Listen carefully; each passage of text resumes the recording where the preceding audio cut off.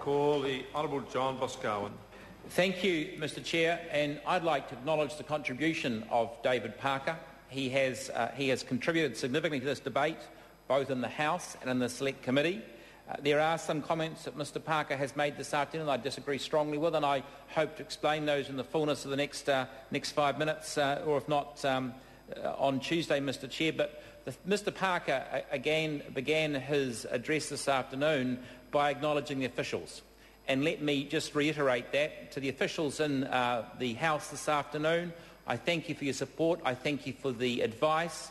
You're always willing to contribute to certainly my understanding and the other members of the Select Committee. Uh, Mr Chair, we kept the officials and the other staff in this precinct in Parliament last night until after midnight. Uh, we're sorry for the inconvenience, but we don't apologise for it.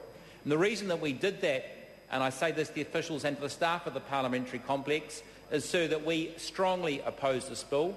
We said that we would fight this bill every step of the way. We've done that, and we'll continue to fight it next week and we don't resolve from the decisions we took and the actions we've taken. And I just want to point out why we're right. You just listen to some of the speeches this afternoon and, you un- and you'll understand that. What, what do we have from Tau Henare this afternoon?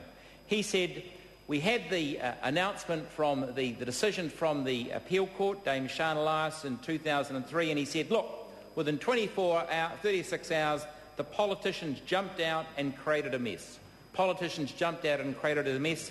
And he went on to say that this government, this National Party and Maori Party government, has attempted to get it right, but only time will tell.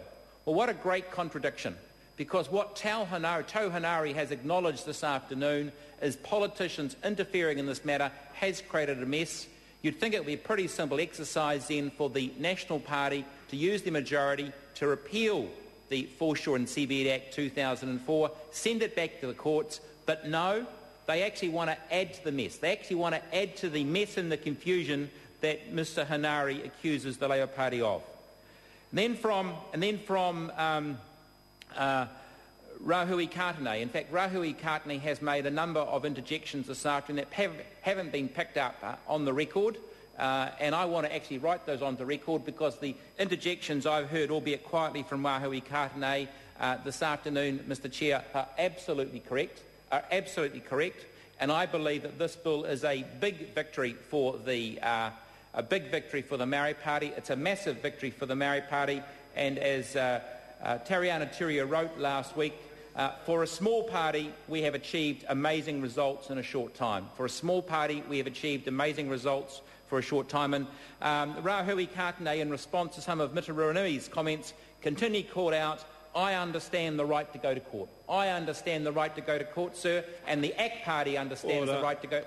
Order. I regret to advise the member that it has gone uh, 5.55 and it's time for me to report progress.